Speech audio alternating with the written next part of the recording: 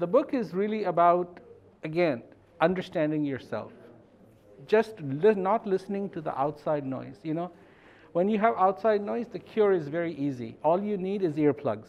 But when the noise is between your ears, what do you do? Earplugs aren't going to help because it's between the ears. And this is about recognizing that noise and quelling that noise and getting rid of that noise. That's what this book is, and it's a wonderful opportunity to work with Rizzoli again on this project.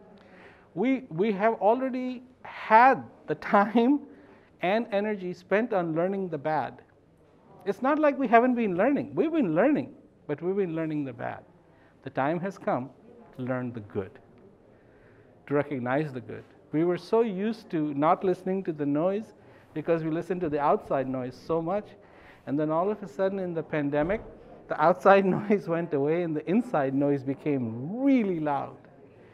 And to come out of that and to really listen to what the heart is saying, which is a whisper that be content, be happy, be in peace, be in joy, fulfill your life. This is this opportunity that you have. In these difficult times, uh, we can try uh, to live in to live in peace with ourselves and how. Because peace is inside of you. Because peace is inside of you. You don't have to go and create peace. You don't have to go and search for peace somewhere else. Peace is inside of you. Stop searching, start looking.